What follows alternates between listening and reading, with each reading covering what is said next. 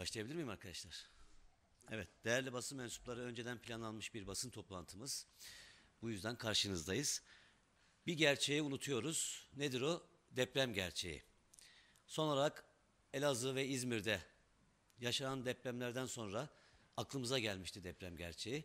Ama bu depremler üzerinden bir süre geçtikten sonra yeniden hatırımızdan çıktı. Hatırlamak için ise yeniden bir depremin olması gerekiyor galiba. Deprem yaşanıyor. Deprem yaşandıktan sonra 3 gün, 5 gün, 10 gün kamuoyunun gündeminde deprem konuşuluyor. Deprem öncesi konuşuluyor. Arama kurtarma çalışmaları konuşuluyor. Televizyonlarda birinci, ikinci haber oluyor. Hatta bütün bülten depremle ilgili oluyor. Gazetelerde deprem manşet oluyor.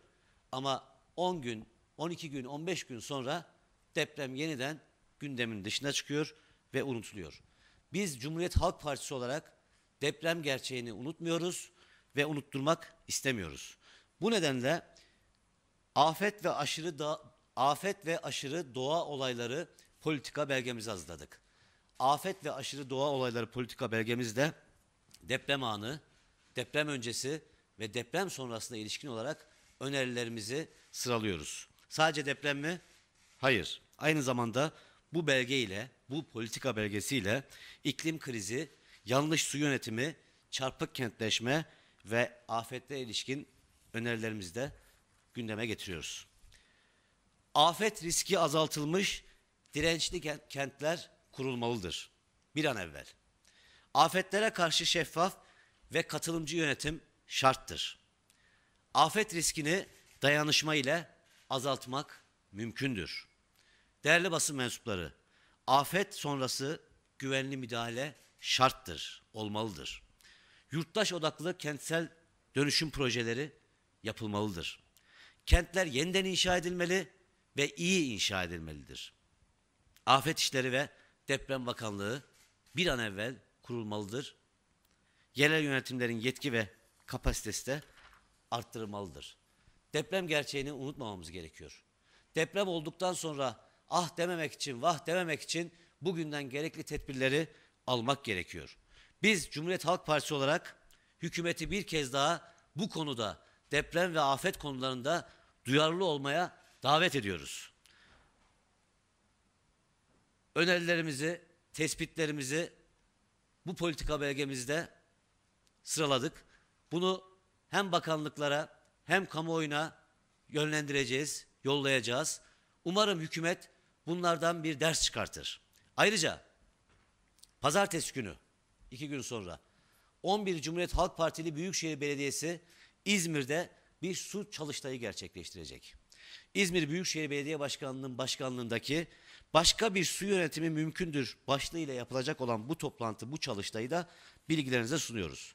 Aslında bugün için daha kapsamlı, daha detaylı bir basın toplantısı gerçekleştirecektik.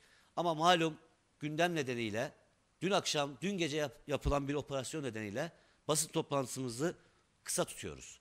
Deprem konusunda, afetler konusunda hazırladığımız sosyal politika belgesini, hazırladığımız siyaset belgesini takdirinize sunuyoruz.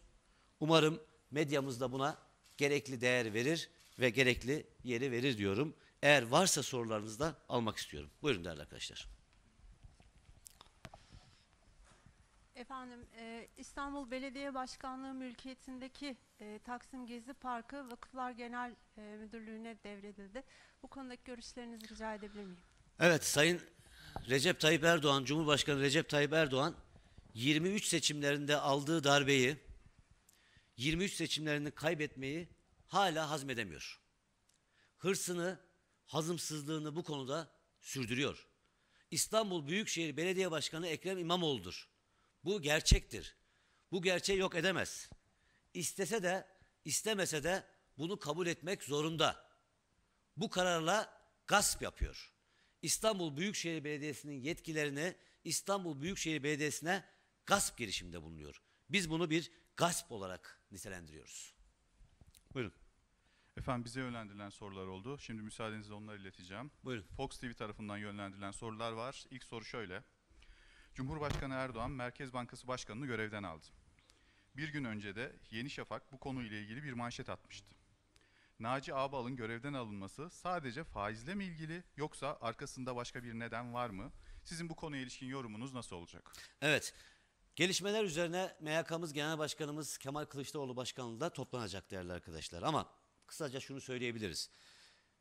AKP'nin yandaşı en büyük destekçisi olan Yeni Şafak gazetesi dün bu operasyonu kim adına çektiniz manşetiyle çıkmıştı. Ve Sayın Naci Ağbal'ı hedef göstermişti. Sarayda Yeni Şafak gazetesinin bu talebini yerine getirdi ve Sayın Naci Ağbal'ı görevden alarak Yeni Şafak yazarı Şahap Kavcıoğlu'nu atadı. Damat Berat Albayrak istifa ederken istifa dilekçesinde istifa açıklamasında şunu söylemişti. At izi it izine karıştı demişti. Gerçekten de at izi it izine karışmış görünüyor.